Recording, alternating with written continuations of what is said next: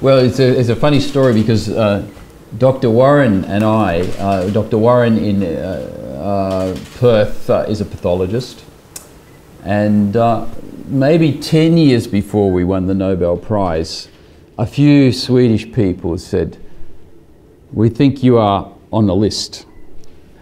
So after a few more years, we didn't win it. But Dr. Warren retired, and uh, so each day, each year when there's Nobel, Nobel Prize announcement, I used to take Dr. Warren to the pub and we have a drink of beer. and of course, this is a good time zone for the Nobel Prize because it, it comes is announced at 5 p.m. USA not so good, 2 a.m. You get a phone call, but in Australia 5 p.m. So Dr. Warren and I, we always went down the pub in Perth, uh, having some fish and chips and some beer, and uh, waiting for the phone to ring. And so 2002, nothing happened. 2003, nothing.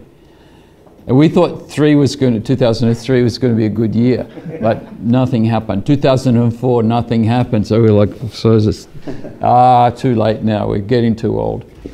Uh, and so uh, 2004, and then still 2005. So we went to the pub, we're drinking our beer, and then the phone rang, and Dr. Warren's phone rang. Hello, Dr. Warren. This is, who is it? Hans Jörnvall from Sweden. You have won the Nobel Prize. So he Dr. Warren's very calm. He's like, oh, that's very nice, thank you.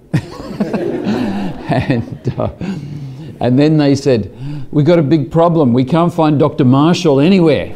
We called his office, we called his house. Nobody's there. They don't know where he is. And Dr. Warren said, um, well, he's here with me at the pub. and uh, and uh, would you like me to tell him? And they said, no, no, no. We have to tell him. You have to pass. So he passed the phone over to me. Said, Dr. Marshall, you won the Nobel Prize. I was, whoa, that's great. More beer. and so we're very excited. And uh, people often ask that question, but uh, the excitement is much greater for making the discovery